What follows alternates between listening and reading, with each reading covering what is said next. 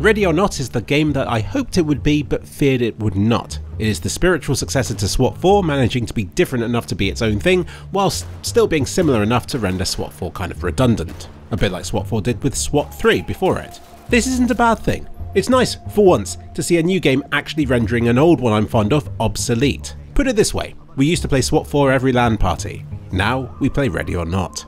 I'm going to assume you haven't played SWAT 4, because if you have then you're probably already enjoying Ready or Not. For the rest of you, imagine you're part of a SWAT team sent in to clear crack dens and schools filled with gun and knife wielding maniacs.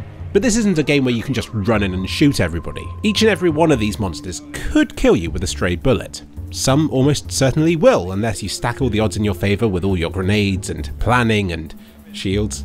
Your best bet is to shoot everyone on sight. But if you shoot everyone on sight, then you risk killing innocents. You'll mistake flashing phones for flashing guns, and you'll accidentally shoot human shields instead of the terrorists holding them. Ready or Not is filled with split second decisions, and it'll be a long time before you don't make some mistakes. There's one guy, for instance, who you're meant to arrest, but he has a powerful badass revolver that he isn't afraid to use. That's fine, you might think. Just hold up a shield and you'll be safe. Nope, he'll just shoot himself with it, failing the mission. You'd have been better off going in with a taser. Not's levels range from quite small to being so big you'll rarely make it to the far side of them, and the enemies range from being quite dangerous to being pure aimbot. It's exhilarating to be shot at by a junkie only for them to miss every shot as they skip across the room in a dressing gown. It's not so fun to encounter a hardened maniac who will zap you before you even turn the corner and who has his penis exposed. This one time in single player, I coordinated an attack on his house, where one team went upstairs, the other downstairs, and at the same time, they kicked the doors open to take them all by surprise. All four of my teammates immediately died from the booby-trapped doors exploding, leaving me alone to contend with three hardened maniacs. And the game's scoring system is unforgiving. There's an elusive S plus score, though an excellent run can still sometimes yield just an A or a B rating. Make the slightest mistake in this game and you'll be given some terrible score. This game is still new and exciting enough to me that I don't really care what I get, so long as I've actually managed to survive the level. These things can be brutal, but these scores will keep us coming back for years to come as we perfect our entries and gradually master this game. For the game's official 1.0 release the other month, they added a single player campaign where you recruit very capable, uniquely perked, and emotionally fragile AI officers to go on the missions with you. And as they witness terrible things, their mental state degrades, and you have to send them on breaks and stuff like that. Honestly, I didn't care too much for that micromanagement. I thought I would. I hate losing people in a game like XCOM, for instance. But in this game, I expect collateral, and beyond a unique perk, these officers all fill the same role to me. I just don't expect to be able to familiarise myself with anyone for long enough to actually care. I don't care too much for the innocents in this game either. I mean, I do, but not enough to not shoot them if I'm looking for a quick dopamine release in multiplayer. Ready or Not's problem is that it's just too fun to shoot at stuff. You hit an artery and blood pours out of that person as they flail about for a while before collapsing to the floor. You shoot somebody else and they're on the floor screaming for what seems like minutes. The voice actors had a lot of fun in this game. Contact. I, Dropping the light. Nothing.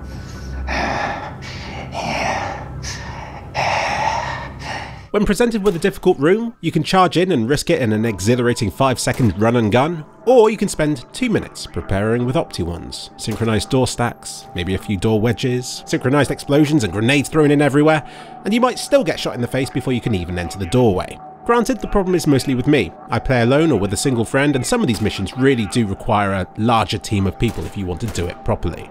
But it's hard work to do this game properly, especially after you've suffered a few retries already. I didn't have the same problem in SWAT 4, where I quite enjoyed playing it non-lethally, taking my time to prepare at every door I encountered and ensuring a perfect score by shooting enemies with beanbags and pepper balls instead of things that can actually kill them. Because take your time in SWAT 4 and do everything perfectly, and you can almost guarantee you'll clear the next room without any casualties. Ready or Not is not so forgiving, nor is it so consistent. Some of its enemies are unfairly good, Others just randomly open a door when you least expect it, or they'll begin wildly sprinting about the level and will run up behind you in 5 minutes time. Or they'll shoot you through the tiniest gap in a wall somewhere. Add to this your grenade's erratic effectiveness and the fact a single bullet can still kill you even if you're wearing all the armour and shields in the world, and Ready or Not can be a thoroughly infuriating experience. It's a gritty game, in a good way. The trailers made it out to be even more depraved than SWAT 4's seedy cracked dens and illegal prostitution rings were, and the game has well and truly lived up to that. Every room in this game is lavishly detailed with custom made details and assets, and it's truly beautiful how unique each and every place and resident in this game looks. They just haven't missed a beat with all the cults and Ferraris running about everywhere. There's that nightclub from John Wick, with piles of dead bodies all over the place, and people with suicide vests who will explode if you accidentally shoot them. They even have a school shooting level, though it's set in a college and there aren't children everywhere or anything like that. Though there are children in this game that you can shoot, which is unusual to see in an unmodded game. There's also a crate full of naked women at one point. Ready or Not's developers do have their limits, but their limits are less strict than most games dare to be. Your loadout is diverse, and it's difficult to tell the difference between some of the weapons in this game, let alone some of the attachments you can add to them. Some of the guns definitely take a few more shots to take an enemy down than others, but the more powerful ones tend to be longer so you can't use them so easily in confined spaces and so on. It's cleverly balanced in that regard. You have different armor tiers that you can use, and even different material types for the plates that you put in them. Like hell, I can feel the difference. I just know you'll run slowly regardless of what you pick. And like I said, you can wear all the armor and a single shot can still kill you. This game doesn't care whether you're ready or not. Now this game's been in a good state for years already if I'm honest. I've been playing it since the very beginning, when many of the levels were just blank untextured rooms, and it bode well that it was still incredibly enjoyable to play it back then. And even if they stopped developing this game today, it's already a decent experience with enough levels and challenges to be worthy of being sold at full price. But of course, I hope they continue to add to it for many years to come.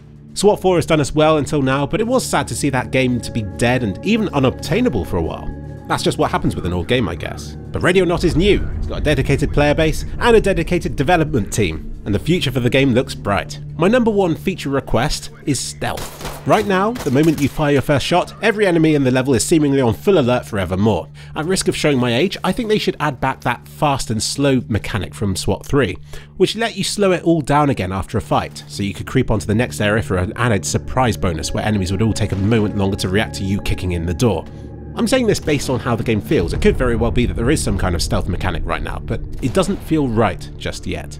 They've already fixed a few of the things that were wrong with this game in early access. The enemy's reflexes, for instance. They used to shoot you through walls and immediately spin around and headshot you, and for the most part, that sort of stuff has been fixed, but there are still some odd situations where, if this was Counter-Strike, I would accuse these enemies of cheating. It's been wonderful to see them shake up the unfun levels so dramatically. The port level, for instance, was very unfun. Now it seems to have been entirely redone. I also want one or two more short missions one where there's a lone gunman in a small house full of innocents, because it's always fun to warm up on such a level at a LAN party. The petrol station is the closest this game has to that, and even that's quite extensive. I'd also like a return of the fast food restaurant, but what made it fun was that it contained lots of low skilled enemies to shoot. It was fun to have such a small level with enough targets that everyone had a chance to shoot something. I also want them to make the sniper scope not be completely pointless, and let's have the option for AI teammates in multiplayer to aid you in the more challenging missions, and make it so you can take over control of them should you die in the mission. So yeah, Ready or Not is my current gaming guilty pleasure, made by what feels like all the same talented and passionate people who made SWAT 4.